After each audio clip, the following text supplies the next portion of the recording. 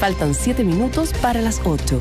A ver, hace un par de semanas, eh, los estudiantes llevan un, un, mes en algunos casos, un poquito más en otros, respecto a que regresaron a las aulas de clase. Y parece que en algunos establecimientos, lamentablemente, la situación está absolutamente descontrolada. Digámoslo así, se han vuelto en verdaderos patios en que la educación claramente eh, no se demuestra, no se ve. Lo conocimos en Puente Alto y también lo conocimos en las últimas horas en el Liceo Comercial. De hecho, Soy Antofagasta dice que la directora de educación de la municipal, del, del centro eh, se refirió al Liceo Comercial, donde hay videos que es una pelea como si fuese el patio, perdónenme que lo diga así, de una cárcel. Con, con una jerga, eh, jerga con una jerga de delincuentes.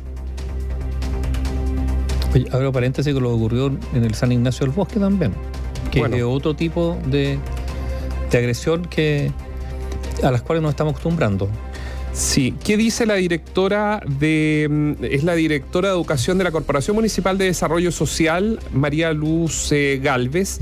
Se refirió a esta pelea que se registró y que ha adaptado en las redes sociales del Liceo Comercial de Antofagasta entre estudiantes y donde también se vieron involucrados profesores y los funcionarios del establecimiento. Esto es una tremenda preocupación que nuestros profesores, funcionarios y estudiantes pasen por este tipo de situaciones. Esto sobrepasa, dice ella, a lo que pueda hacer el liceo. A lo que pueda hacer el liceo.